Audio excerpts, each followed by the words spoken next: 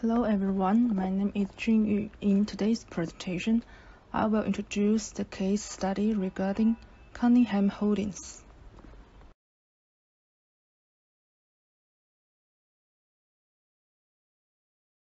MCPF has a high gross sale in Australia, but has a low pro profitability margin.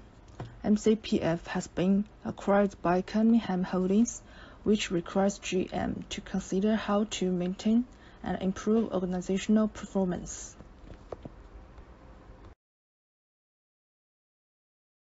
As you can see, MCPF has lots of weakness, including the low profit margins because of promotions led by the supermarket and is exposed to such risks as products recall due to the package and the labeling mistakes and poor quality control.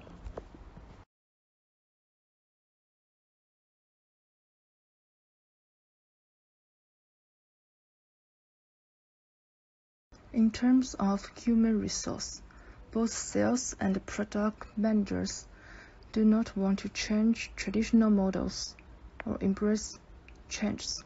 They still adhere to traditional minds.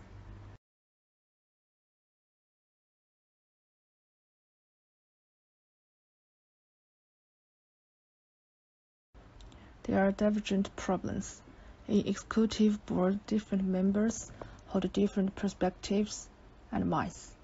Most persons focus on the potential profit loss analysis to meet their fiduciary obligations to Cunningham Holdings. How to transit the MCPF subsidiary to a leading edge, innovative retail food Pervera is a major challenge.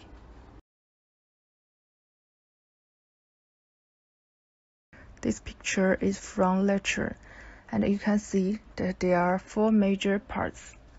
Collaborate, control, compete, and create.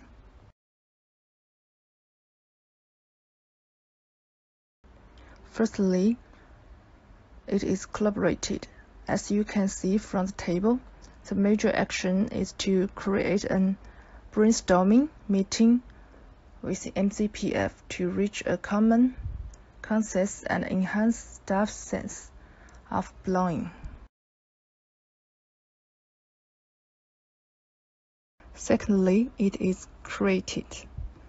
The table shows that its stage is to share ideas within team and encourage new behaviors as well as analysis potential risks.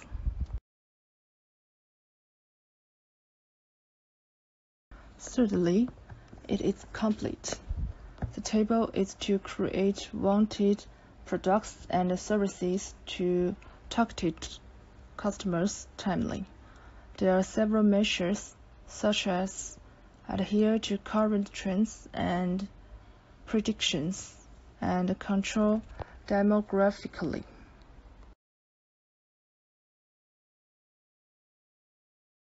The last one is control. Just like what is illustrated by the table, it is to control everything, such as production and quality.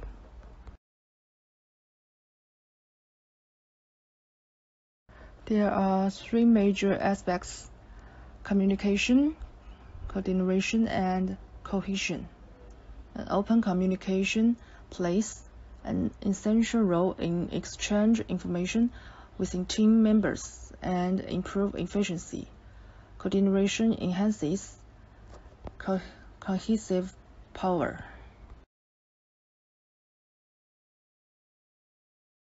MCPF has suffered great challenges due to the acquisition especially when it comes to increase profitability and expand a new market.